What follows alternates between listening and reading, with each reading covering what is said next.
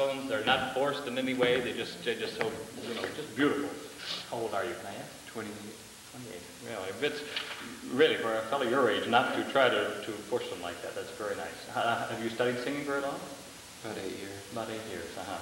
Uh, let me make some comments about it. I, uh, you got more involved in it as you went along. Uh, I mean, it started, you were a little concertized, and then you probably remember what I said. and uh, a lot of singers don't feel comfortable uh, in moving or in acting. Are you essentially, have you been trained as a singer as opposed to being an actor, or have you had both uh, backgrounds? I've had some acting, I've had a lot of dance. A lot of dance, okay.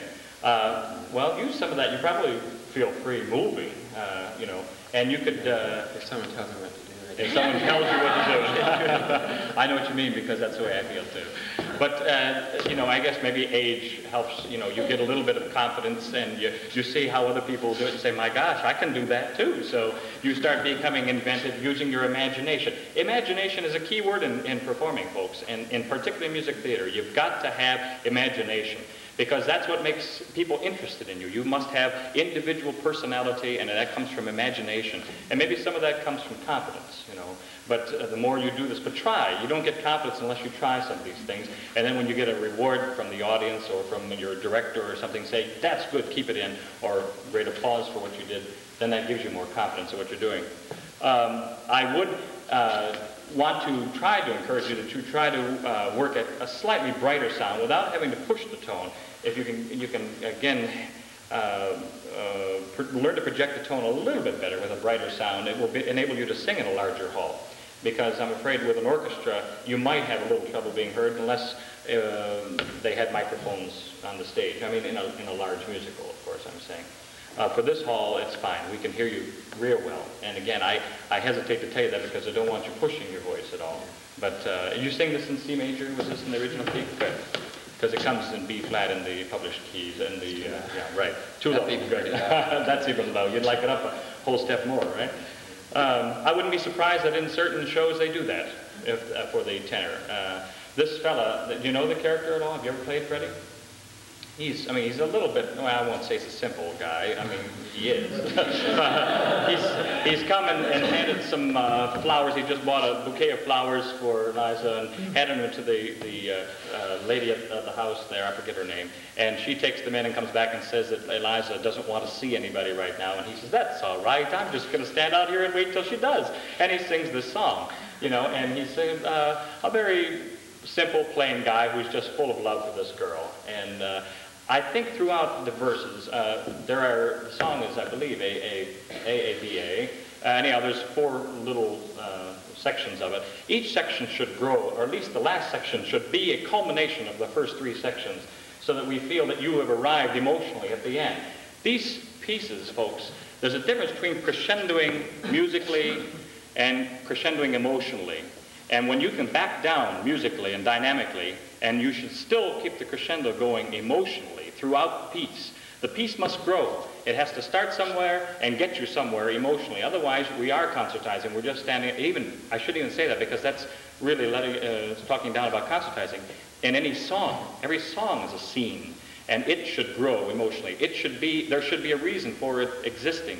And that takes us from one place emotionally to another place emotionally either forward in love or uh, backwards in some, maybe uh, re, re, uh, thinking about some hate or reliving some experience, but it does have something happen emotionally, and this is what we want to see and hear.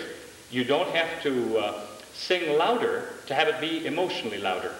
Am I making sense on that? Do you think, do, do you yeah, understand that? So this is what I'd like to hear more from you in the end of the song, in the last uh, 16 bars, a little bit more involvement emotionally, even though it's not going to be louder, it's going to be, you're going to be so involved in it that, oh, I don't care as long as I can be here on the street where you live, seeing this place, smelling the aroma, and just living that moment. Uh, because this is very important, the biggest thing in your life up to that time, obviously. Uh, so try a bit of it. We have time to do the whole thing one more time. And, and uh, uh, start at the beginning You've just given, given the flowers in, and uh, you can, uh, in fact, uh, it can be somewhat uh, in, inward at the beginning in the introduction, and then, uh, how does that, I, I have often walked down the street, people. It does not have to be uh, a large uh, you know, step out here, go over this way, and then come uh, slowly over. You might stop for a section and, and sing out a little bit, uh, referring back to the house a bit, and then walk over this way a little bit more. Um, just to give you some general ideas. And remember, grow emotionally throughout the piece. All right? Try to do that. You want to try higher? You want to do that high? Sure, why not? All right.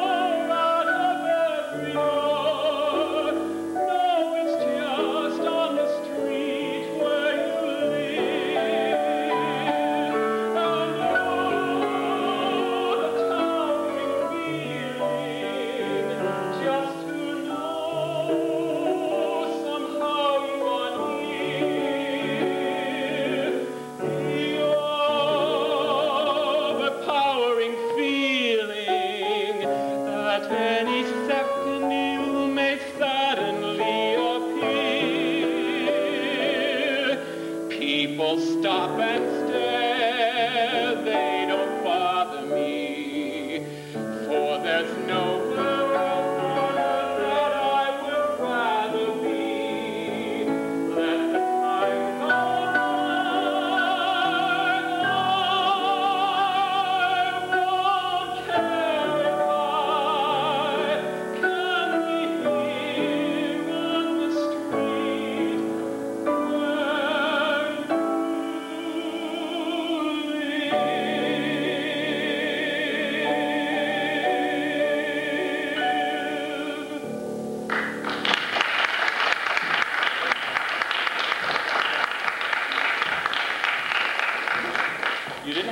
louder at the end, but you have to just be completely overwhelmed, you know, uh, at the end. Oh, I'm running on the street where you live. I mean, you keep keep involved in that uh, as high as you can emotionally. Again, while you don't have to be high vocally or loud vocally necessarily. So that the excitement has built all the way to the end of this thing.